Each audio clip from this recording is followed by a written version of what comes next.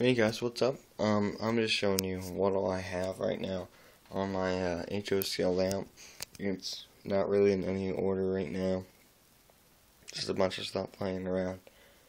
Um, like there's no town or anything. All it is basically right now is an oval with uh, a couple sidings.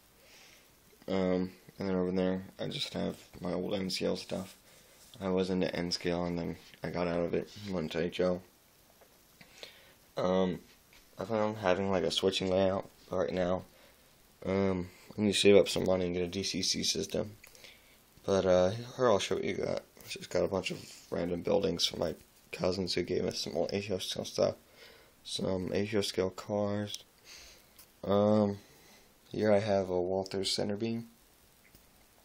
Um, in the British Columbia Railways. Here I have a Cargill um, Proto 2000 PS2 CD covered hopper.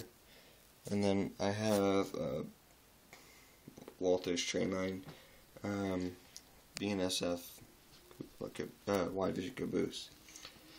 Um, and then over here, this isn't mine, I'm just testing it out for somebody.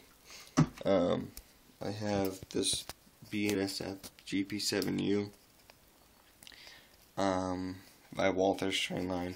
I came with that. I just decided to pick up another engine. And then this is my Bachmann Spectrum Great Northern GP30. Just wanted to show you what I had and what was going on and what my plans are. So thank you for watching. Um, I hadn't posted really that much in model railroading, so I thought I'd make a video.